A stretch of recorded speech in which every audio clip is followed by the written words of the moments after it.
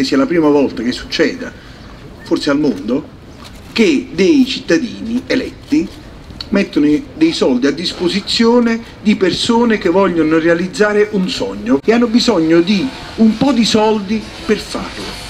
Noi questo stiamo facendo. Un'impresa al giorno per almeno i prossimi dieci anni, 25.000 euro alle microimprese, alle persone con una partita IVA che vogliono provare a fare qualcosa. Questo questi ragazzi sono riusciti ad ottenere da cittadini semplici. Microcredito5stelle.it è la nostra idea di governo che si associa al concetto di reddito di cittadinanza perché anche quello lo finanzieremo tagliando gli sprechi e si associa all'idea di un paese in cui i soldi non li prendono più sempre gli stessi ma li prendono finalmente cittadini che purtroppo non hanno ipoteche da fare non hanno niente da mettere a garanzia, ma hanno un'idea. Io oggi sto qui proprio per questo, per sentire di cosa si parlava, perché io ho una piccola impresa. Lei volevo... può, per far partire una sua impresa, una sua idea imprenditoriale o per superare un momento di difficoltà, andare in banca e chiedere un credito senza dover firmare cambiali o impegnarsi con un'ipoteca. La garanzia la mettiamo noi. Sì. Quello che conta è l'idea. È un fondo del Ministero dello Sviluppo Economico su cui ci sono 10 milioni di euro di restituzioni dei parlamentari del Movimento 5 Stelle a cui si può accedere attraverso una procedura di evidenza pubblica, una procedura quindi istituzionale sulla quale i parlamentari che hanno restituito le somme non hanno nessun potere di controllo o di condizionamento. Questo paese nel dopoguerra è cresciuto e si è sviluppato grazie all'idea di grandi uomini. Se quei grandi uomini avessero avuto a che fare col sistema bancario di oggi e col sistema statale di oggi, quei grandi imperi che ci rendono orgogliosi nel mondo non sarebbero nati. Ed è questo che vogliamo rimettere in piedi. Grazie a tutti. 4 marzo 2015 finalmente il Senato approva il DL Emicillo sui reati ambientali e abbiamo anche ottenuto tanti risultati. Abbiamo ottenuto di migliorare la definizione del delitto di inquinamento e del delitto di disastro. Abbiamo ottenuto che nel ravvedimento peroso ci sia la clausola che questo può avvenire solo prima che inizi il processo, ossia io posso sì avere uno sconto di pena se provvedo, ossia se mi ravvedo e quindi faccio la bonifica, ma solo se non è iniziato prima il processo. Abbiamo anche ottenuto che il provento della confisca sia legato alla bonifica, ossia i soldi che io prendo, mi, mi, mi sequestro perché hai fatto il danno devono devono finire nella bonifica.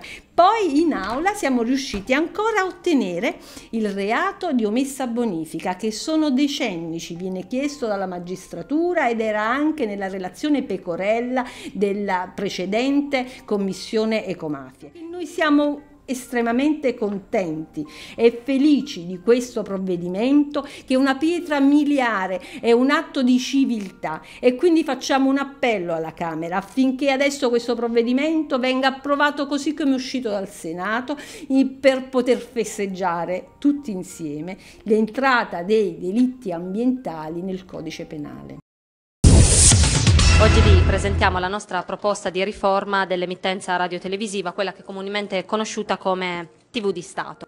Il servizio pubblico televisivo dovrebbe dare formazione, informazione eh, nei confronti dei cittadini e invece molto spesso i partiti hanno utilizzato non solo il servizio pubblico, ma in generale l'informazione come un veicolo talvolta addirittura di, di propaganda. Forse eh, una delle leggi più importanti per la democrazia di un paese, perché? Perché l'informazione è l'aspetto più importante eh, per un cittadino per poter fare delle scelte e eh, esercitare il proprio diritto alla democrazia. Chiaramente ci siamo posti degli obiettivi che sono quelli dell'indipendenza dal potere politico, un nuovo CDA che fosse più agile e autonomo, l'efficienza dell'assetto societario, la qualità della programmazione, l'innovazione nel servizio pubblico e la trasparenza su gestione, nomine e appalti. Come Parlamento possiamo uscire definitivamente da un'epoca. Oggi possiamo voltare pagina, il Movimento 5 Stelle non ha nessuna intenzione di fare ostruzionismo di nessun tipo, ma dialogo al 100%, anche con il partito di maggioranza, il Partito Democratico, all'interno del Parlamento, all'interno delle commissioni competenti. Però l'obiettivo deve essere chiaro per tutti, via i partiti dal servizio pubblico e via il governo dal servizio pubblico. Se vogliamo lo stesso obiettivo senza nessun tipo di trucco, il Movimento 5 Stelle c'è. Questo evento è nato da un episodio eh, legato ad una persona che si chiama Silvio Buttiglione, qui seduto eh, tra il pubblico, è, ehm, era un imprenditore abruzzese eh, che io ho incontrato in una piazza a Montesilvano e che mi ha spiegato la sua vicenda. È una vicenda eh, che purtroppo accomuna tante persone che hanno fatto impresa in questo paese, che molto spesso per colpa eh, di banche o per colpa della, eh, di quella che oggi è diventata un'usura di Stato, che è Equitalia, molto spesso si ritrovano eh, in un vicolo cieco. E allora come fa? Io non voglio chiedere elemosine a nessuno, io voglio ritornare a riprendermi la mia vita, la mia vita e lavorare dignitosamente come ho sempre fatto. Allora non trovo soluzioni, signori parlamentari, io non trovo una soluzione. Allora l'unica soluzione che mi è venuta in mente è di andare a un giudice e dire di trasformare, trasformare le sanzioni in pena. Mandatemi in galera, fatemi passare il, la galera, però poi voglio essere libero, libero. Non dovete perseguitarmi a vita, perché non è giusto. Io non sono mai stato un evasore, non sono un criminale, sono, sono trattato come un criminale. Allora, io voglio pagare, mi trovate una soluzione come faccio a pagare? Io sono stato fortunato che il Signore mi ha salvato la vita, però altri non sono fortunati e quindi non possono raccontarlo oggi. Però non per questo io dico che non mi stancherò mai di lottare contro questo mostro chiamato Equitalia. Ho una certa difficoltà a non emozionarmi davanti a questo disegno. È stato disegnato da un bambino del quartiere Tamburi. Il messaggio è chiaro, papà, uccidi il mostro. Di ciminiere dell'Ilva come un mostro nero che sputa fuoco e fumo la risposta che voi state dando a questo bambino è quella che il mostro continuerà a vivere e uccidere impunito. Tutti i bambini hanno un mostro immaginario nell'armadio, a Taranto il mostro vero è fuori dalla finestra. Basta una lettura superficiale del decreto per comprendere cosa? Che tutto viene architettato solo per salvaguardare i crediti vantati dalle banche. I tarantini qui non c'entrano niente e i bambini sono stati soltanto una meschina strumentalizzazione perché di fatto quelle prescrizioni non verranno neanche attuate e quelle che verranno attuate serviranno soltanto a far andare avanti questo stabilimento che dà solo morte a Taranto.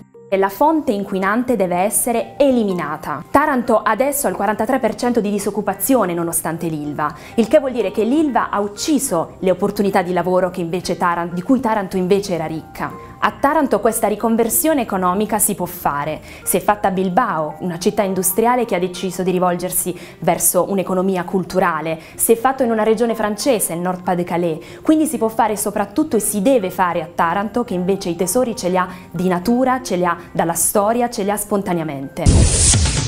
È dimenticato questo, si è dimenticato che cosa era prima, forse perché non ha mai veramente lavorato. Ma quando vi ribellate, io lo sto dicendo a voi senatori, il governo esegue la nostra volontà. Quando è che ci ribelliamo?